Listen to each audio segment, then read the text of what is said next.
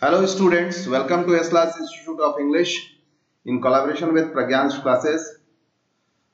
As you know that we were continuing the story Footprints Without Feet written by H.G. Wells. So, you just see your textbook on page number 28. From there only we have to start the story. आप लोगों ने ये जाना कि पीछे कैसे वो दुकानदार को झटके दे करके, उससे पैसे छीन करके वो ग्रिफिन जो है साइंटिस्ट जो है, भागा। अब यहाँ आगे स्टोरी कंटिन्यू होगा। Eager to get away from crowded London he took a train to the village of Iping where he booked two rooms at the local inn अब लंदन की भीड़ से दूर जाने के लिए इच्छुक होकर उसने आईपिंग नामक गाँव के लिए जो गाड़ी, जो ट्रेन जाती है, उसको पकड़ लिया।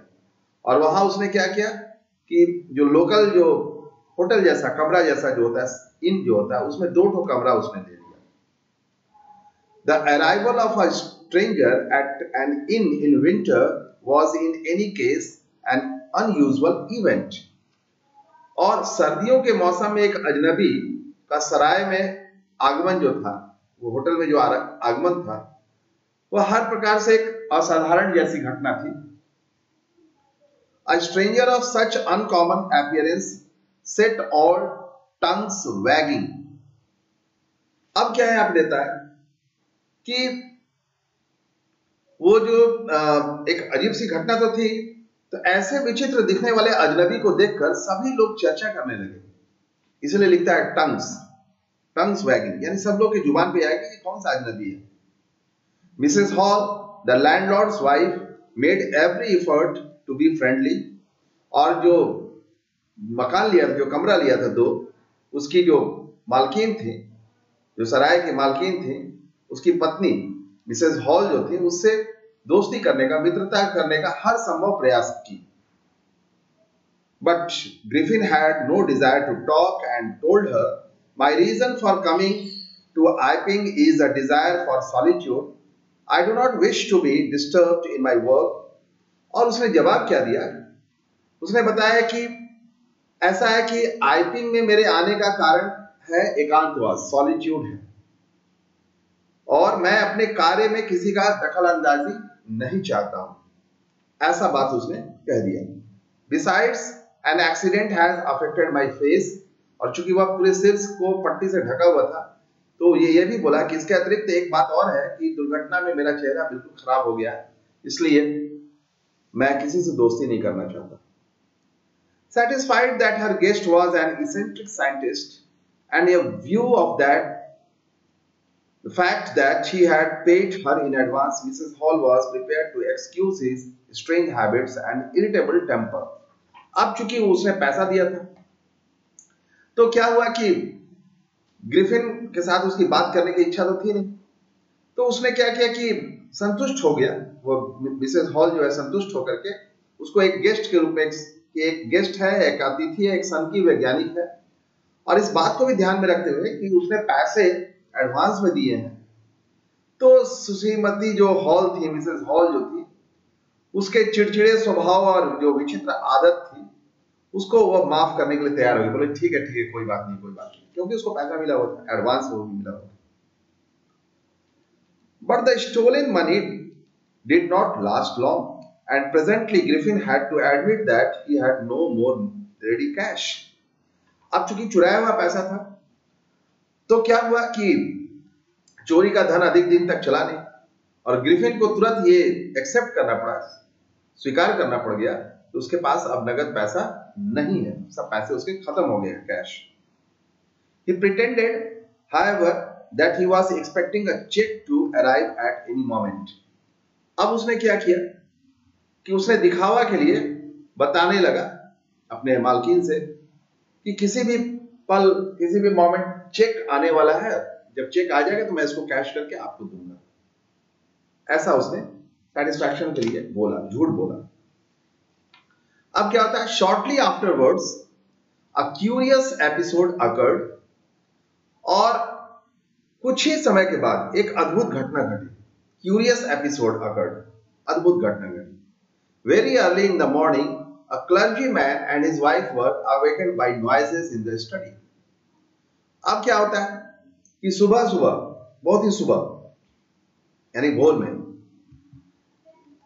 उसके जो स्टडी रूम थे, अध्ययन कक्ष, उसमें शोर सुन करके एक क्लर्जी मैन था, पादरी था, और उसकी पत्नी जो है, सुबह सुबह जग गई। यानी कि ये साइंटिस्ट अपने स्टडी रूम में बड़ी तेज आवाज़ किया, जिसके कारण उसकी शोर सुन करके एक क्लर्जी मैन और उसकी वाइफ जो है, वो जल्दी जग गई। Creeping downstairs they heard the chink of money being taken from the clergyman's desk और धीरे धीरे सीढ़ियों से उतरते हुए उन्हें पैसों की खनक सुनाई दी। और वो खनक कहाँ सुनाई दी? जो क्लर्जी मैन था, जो पादरी था, पुजारी था, उसकी तिजोरी से निकाले जा रहे थे। कोई चोरी कर रहा था। Without making any noise and with a poker grasped firmly in his hand the clergyman flung open the door तो बिना किसी आवाज़ के और हाथ में एक छड़ जो होता है, उसको मजबूती से पकड़े हुए वो पादरी जो है एकदम से अचानक दरवाज़ा खोला और क्या बोला? सरेंडर आत्मसमर्पण कर दो। तो अब आप क्या गेस कर सकते हैं? कौन हो सकता है? वो होगा वही साइंटिस्ट जिसने, जिसके पास पैसे नहीं थे, वो चोरी करने के लिए सोचा होगा। और वो उसकी आदत भी थी, हमेशा ऐसा करता था। Then to his amazement he realized that the room appeared to be empty फिर उसकी हैरानी क्या हुई?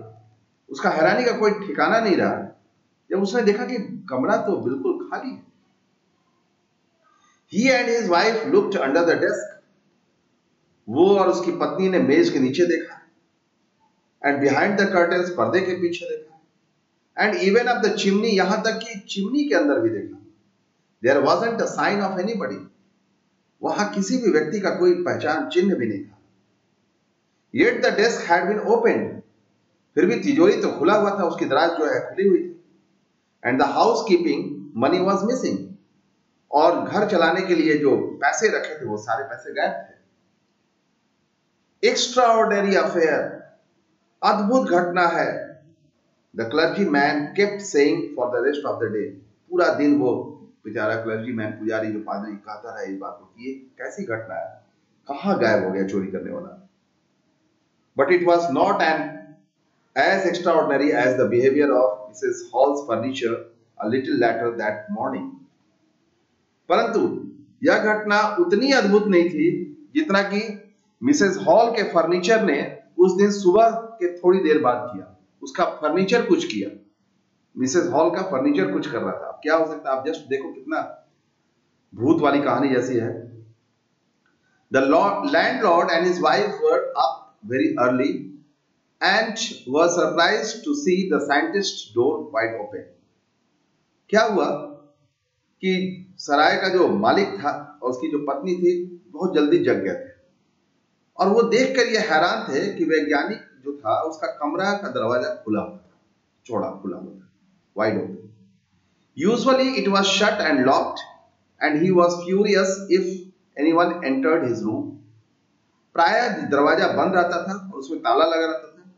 और वह आग बबूला हो जाता था, यदि कोई उसके कमरे में घुस जाता था।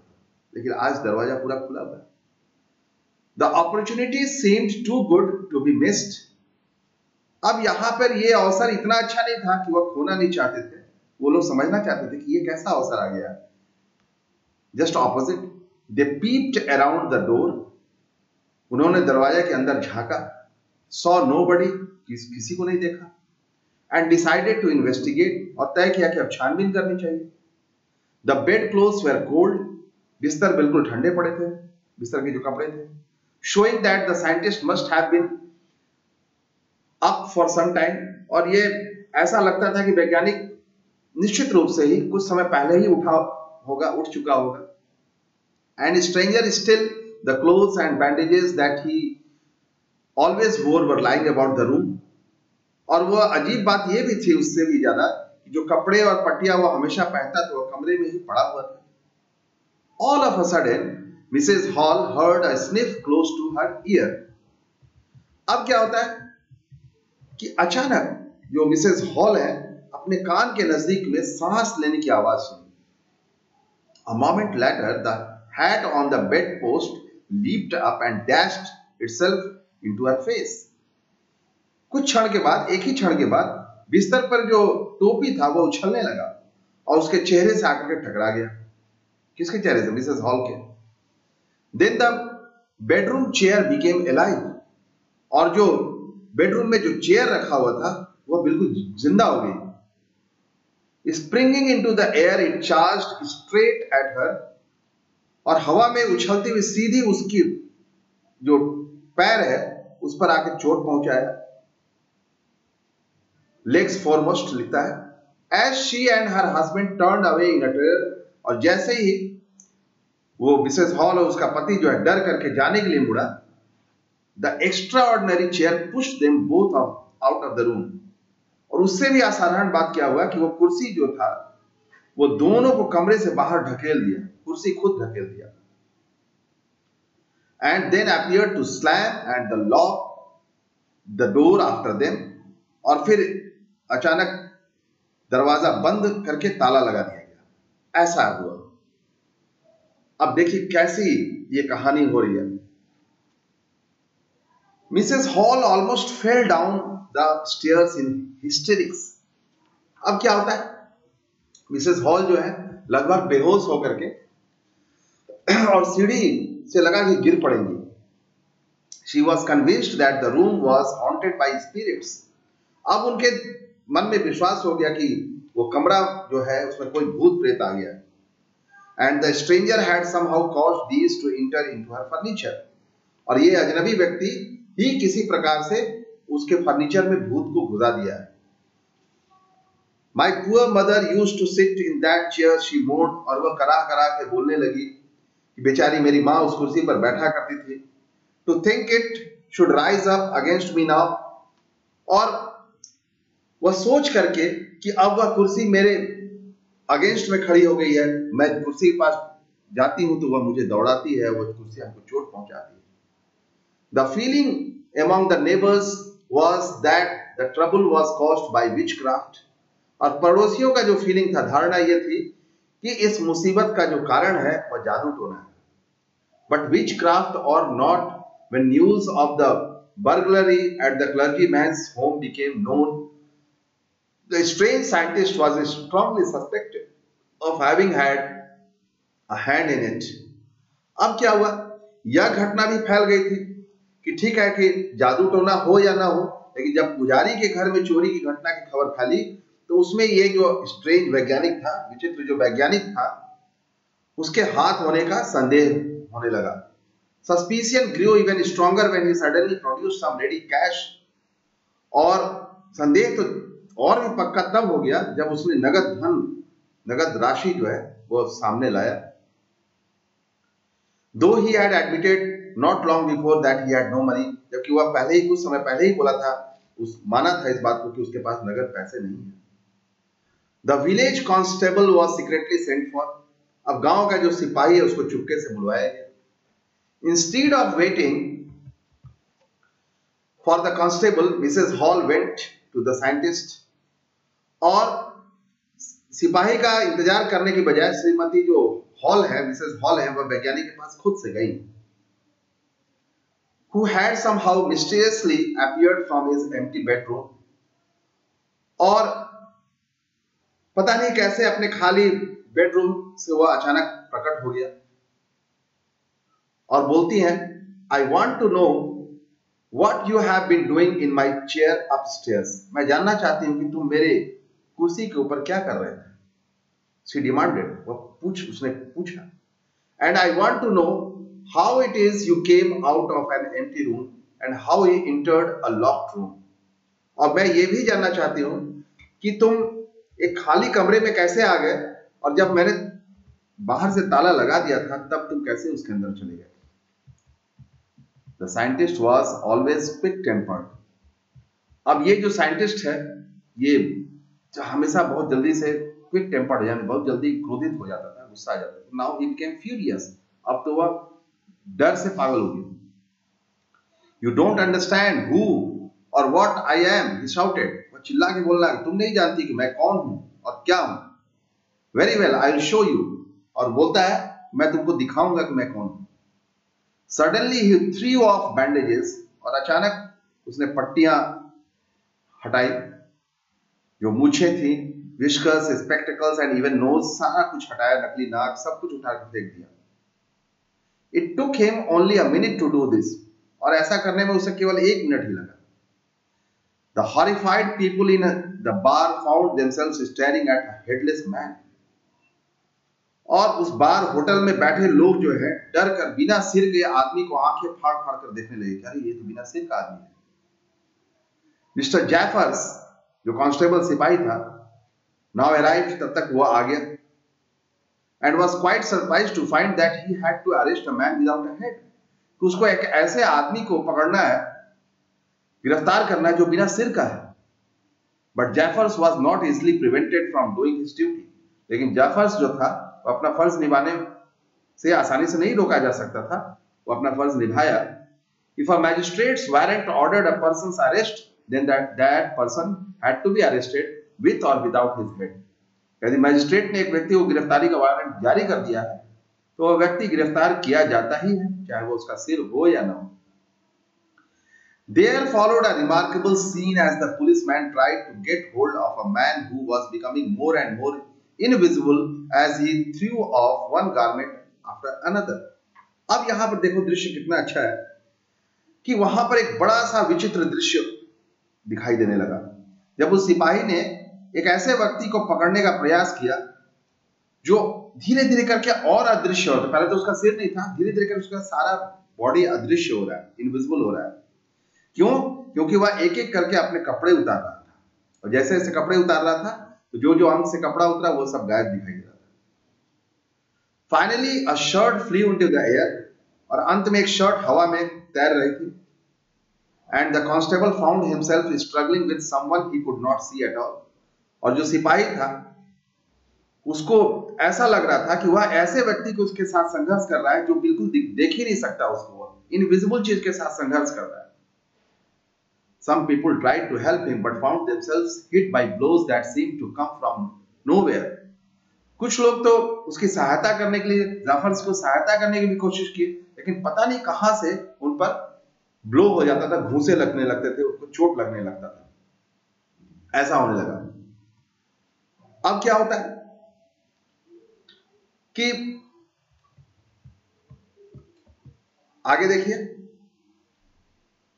In the end in the end Jaffers was shock unconscious as he made a last attempt to hold on to the unseen scientist. अंत में क्या होता है? कि जो जाफर्स है, वो एक अदृश्य वैज्ञानिक को पकड़ने का जो अंतिम प्रयास करता है, उसको ठोकर मारकर बेहोश कर देता है। कौन? Scientist. There were nervous excited cries of hold him और चारों तरफ़ से एक घबराया हो उत्तेजना से भरा हुआ चीख उभर रहा था उसे पकड़ो उसे पकड़ो। ऐसा आ रहा था।